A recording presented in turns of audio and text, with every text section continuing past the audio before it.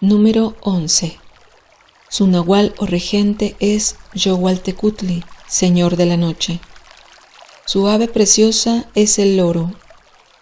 Nombre náhuatl, Matlactlionce. Nombre maya, Buluk. Nombre quiché, Ulajuj. Nombre totonaca, Cahuitu. Nombre zapoteca, Cinia. Nombre mixteca, Ushin. Nombre otomí, Mana. El once representa nuestra dimensión subconsciente, los sueños, pasiones e instintos. Su influencia es neutral, no afecta los aspectos positivos y negativos del signo, pero lo protege contra el mal.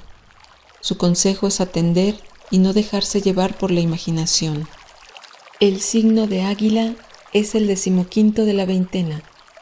Su nahual o regente es Xipetotec, nuestro Señor desollado. Se orienta al oeste. Su elemento es el agua y su color el negro. Su horario de máximo efecto es el atardecer. Su componente humano, las emociones.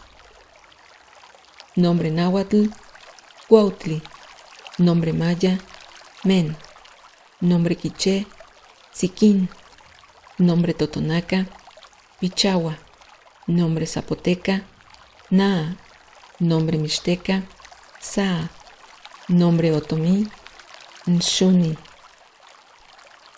El signo de águila representa los deseos y aspiraciones y la capacidad para llevarlos a cabo. También la facultad para volar sobre los problemas y tener un punto de vista amplio. Es un signo de merecimiento, valor, generosidad, altura de miras y carácter. En nuestra historia personal, el águila simboliza los momentos en que fuimos magnánimos o nos sobrepusimos a circunstancias difíciles.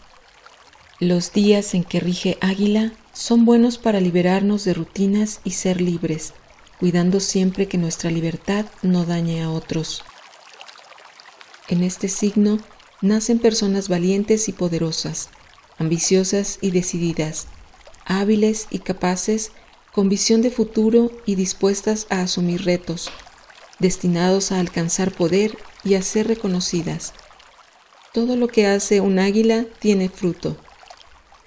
En el aspecto negativo, el águila tiende a arrebatar lo que se puede obtener por las buenas, a retener lo que es para compartir, a quedarse con lo que no le corresponde, a meterse en lo que no le interesa y a exponerse y ostentar sin necesidad. Consejo Tolteca. Canaliza tu naturaleza guerrera a la búsqueda de la libertad y obtendrás satisfacción espiritual, emocional y material. Evita que tu capacidad para obtener frutos te vuelva arrogante. No te expongas, sé discreto.